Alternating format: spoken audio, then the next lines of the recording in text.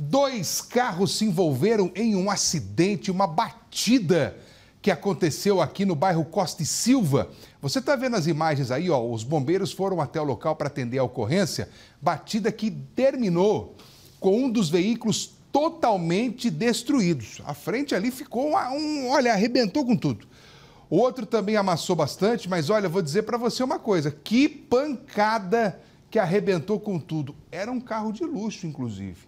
Um dos motoristas teve ferimentos leves. Me dá a reportagem.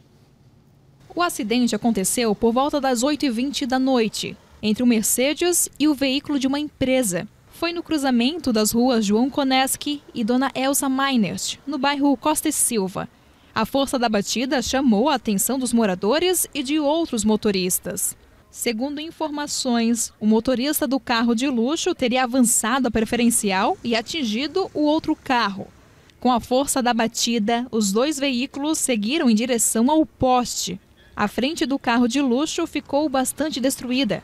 Pelo chão, muitos pedaços de para-choque e lanternas. Os dois airbags foram acionados, o que ajudou o motorista a não sofrer ferimentos graves. O motorista que estava no veículo atingido pela Mercedes recebeu atendimento no local e depois foi levado ao hospital. No local aí, uma das vítimas assinou o termo de recusa, é, sem ferimentos, né?